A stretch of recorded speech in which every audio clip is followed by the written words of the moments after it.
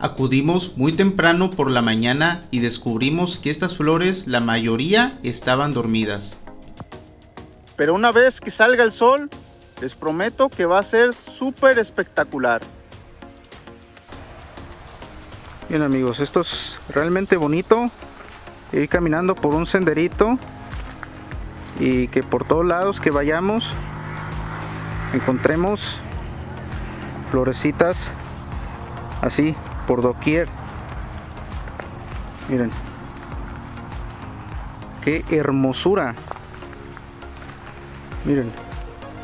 Ya con el sol. Allá todo lo que da. Todavía no es mediodía. Pero miren. Esas maripositas que ven ahí. Esas son las que más son atraídas por este tipo de flor. Miren. Miren. Miren, miren. Parece como un paisaje de ensueño, ¿verdad? Miren. Nos adentramos en un mar de flores. Miren, hasta los tábanos. Al parecer les atraen las flores, miren. Eso no me había percatado yo.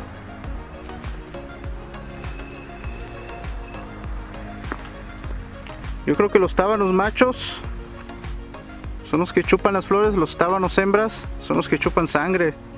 O quizás me equivoque. No sé qué insecto puede ser. Pero esto es una belleza, gente. Hermosa flor de chochompal y gente, miren. Qué colores tan intensos. Miren, así la parte posterior de esta flor. Como pueden ver, su semillero está al frente, justo al frente, a diferentes de otros especies como el tipo tajetes que tienen los semilleros, semilleros como que atrás, ¿verdad? Junto al peciolo. Miren, aquí ya se va formando el semillero. Ya tumbó los petalitos. Aquí van formándose los semilleros. Y así es como se abren los semilleros y exponen las semillitas. Y miren gente, aquí tenemos las semillitas para que las puedan conocer gente. Así es como se tuerce el tallo. Cuando está buscando el sol. Estas florecitas, miren tienen movimientos lentos, ¿verdad? Miren cómo se empieza a torcer esta florecita. Y eso es buscando el sol. entonces el objetivo de estas es poder reflejar el espectro ultravioleta a las mariposas o abejitas y poderlas atraer y de esa manera este, tener sexo entre las plantas y poder intercambiar genéticas y eso y así es como se reproduce, ¿verdad? Y hablando de genética, encontramos esta de manera silvestre con una variación de color más amarillosa que anaranjadosa y sabiendo bien de que existen otras ya mejoradas de otros colores, pero estas son las que encontramos de manera silvestre. Miren amigos, aquí la comparativa de dos colores salió más clarita que las otras. Solamente que para que puedan distinguir. Y en el mundo hay muchas, muchas, muchas más variedades más densas, con pétalos más densos y también de otros colores. Miren amigos, montones de petalitos en el suelo, gente, miren. Aquí tenemos petalitos de los dos colores.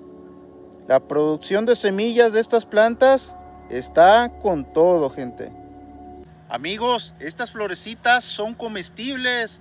Miren, voy a probar una amarillita. ¿Sí comen? Solo los petalitos. Así como un juego. Mm. Y su sabor es muy parecido a las hojas de los ciruelos. Son ligeramente aciditas, perfumaditas te saben un poquito como que a polen. Voy a probar esta otra de aquí. Parezco chivo, ¿verdad? Mm. Su, sabor, su sabor es exactamente el mismo. Si acaso la naranjadita, su sabor se me hace más fuerte. Pero recuerdo que en Indonesia las hojitas también se comen, miren. Mm. Pero estas son de un sabor más fuerte. Creo que estas sí tienen un sabor como igual como el de las ciruelas. Las hojitas tienen de las ciruelas. Todo el mundo sabe que, que también cuando éramos niños no las comíamos. Pues estas saben muy parecido. Solo que más agarrositas. Un poquito amargas. Y con, un sabor como que a hierba. Tiene un sabor muy fuerte. Y estos, gente, pues la gente allá en Indonesia las consumen pues en guiso, las hojitas principalmente. Pero aquí en México yo he sabido de personas que usan estos petalitos y se los ponen a la masa y hacen tortillas, hacen sopes, o sea, todos los productos, incluso tamales, se los revuelven a la masa para darle un poquito de color, ¿verdad? Y si acaso un poco de aroma, gente.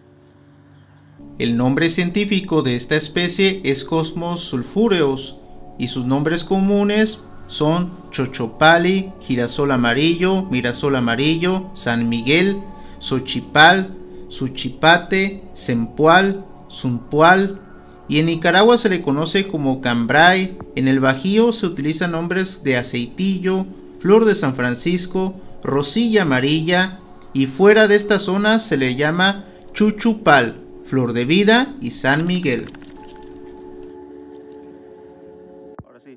Miren amigos, vamos a ver un acto de canibalismo, una florecita comiéndose una flor. Ay, no. A ver, Chayito, pruébala y dime tus sinceras impresiones. Me sabe poquito ácida y a la vez amarga. Sí. Es que si te comes lo verdecito, pues sí te vas a ver amargo, pero creo que los petalitos por sí solos no son amargos. Mm. Eso sí, los pistilos y y este, los estambres no, no se consumen. Bueno, yo no me los como porque son medio desagradables, duritos. Ajá. ¿Sí? ¿Qué tal? A ver, arranca una hojita de ahí, Chaito, de la planta y pruébala también. Una hojita. Sí. A ver. A ver, ahí va a ser muecas, Chaitos, yo creo. ¡Ah! ¿Qué? ¿No te gustó? Bien, bien amarga. Sí, a Chayito, en el otro video que hicimos también se le hizo bien amarga. A mí no tanto, gente. Yo creo que esta quedaría muy bien en un caldito de pollo o en algún guiso como de comida china. Mira, la chivita. ¿Y la flor qué tal? Así es. Esa no me supo, esa no me supo. Fíjate, gente, que, que hay un documento que pues yo no he tenido acceso a él porque te cobran y eso y, no lo he querido buscar pirata, pero se dice de que tiene este, propiedades este, hepatoprotectoras, o sea que es benéfico para el hígado el consumo de esta planta. Pero ahí se lo dejo para los que quieran pagar, ahí en la información del video. Pero estas nomás se dan en, en esta temporada, ¿verdad? Estas florecitas. Sí, esta planta pues empieza a florecer a mediados de octubre y pues continúa así hasta, no sé si recuerdo, como mediados de noviembre, cuando ya empieza a soltar las semillas, justo después de las lluvias. Miren gente, ahí está Chayito arranada ahí, descifrando sabores. Sí. Y tiene rato comiendo florecitas. ¿Eh? Como chivita. Dice, es un sabor que no descifro. Un sabor que no descifro. Y sigue comiendo. La verdad es que son bien agradables de consumir, ¿eh, gente? La verdad es que yo creo que sería un detalle muy exótico, llamativo, si las personas las usan en un tipo de ensalada o alguna comida. O para adornar, fíjense, ah. cualquier plato que se les ocurra, lo adornan con los petalitos estos. Lo malo es que es una planta estacional. Y bueno amigos, ¿qué significa que esta sea una planta estacional? Pues que durante toda la temporada de lluvias empiezan a germinar las semillas que quedan en el suelo, que quedan aterraditas y que tienen la oportunidad, y empiezan a crecer, a crecer, a desarrollarse, a crear una reserva en las raíces para que justo cuando terminen las lluvias se desencadena este espectáculo, este fenómeno en el que empiezan a florecer de una manera impresionante, gente, utilizando únicamente la reserva que han acumulado en sus raíces. A ver, Chayito dice que ya descifró el, sabor, a ver, dime. en el video de este, del yoyote, Ajá. hacemos un hicimos un chicle. Sí. Entonces, el sabor que me queda es a ese chicle. Ah, es cierto, ¿verdad? Esa gomita que Como que ese sabor que te deja el yoyote. Si no han visto el video del yoyote, ahí se los vamos a dejar en un enlace. ¿eh? o sea, tenemos muchísimos videos en el canal. Y, y bueno, sí es cierto, ahorita que lo menciona Chayito, yo también lo recuerdo. Deja como a goma. Como es una sensación así en la boca medio gomosita, Ajá. pero muy leve así. Pero sí. Yo digo que más bien perfumadita, ¿verdad? Sí, pero sí, sí, sí, sí asocio este sabor con el del yoyote. Miren, aquí tenemos un coleóptero. Parecer un escarabajo alimentándose de las florecitas el canijo, miren este. Este canijo alimentándose de las florecitas. Miren, le comió todas las semillitas, miren. Todo, todo, todo. Entonces esta es una plaga que tiene esta planta. Aunque también esta planta es una plaga ¿eh? en algunos lugares. No sé si alcancen a ver esa planta que está ahí. Pues ese es chochompali, pero no ha floreado, miren. Es la pura planta y pues también se puede dar ese fenómeno, miren gente. Por si se lo preguntaban, esas que tienen el tallo verde así grueso, también florean gente, miren, acá sí encontramos una floreando. Pero la mayoría de las que florean tienen el tallo como moradito. Como este tallo moradito que encontramos por acá. Pero esta es de mis estampas favoritas, tanto que me gustan como para una foto. Pero es con esta foto que nos despedimos, es la que más me gustó y los invito a que le den me gusta al video y se suscriban a este canal de frutas y plantas exóticas donde les invitamos a ver más contenido.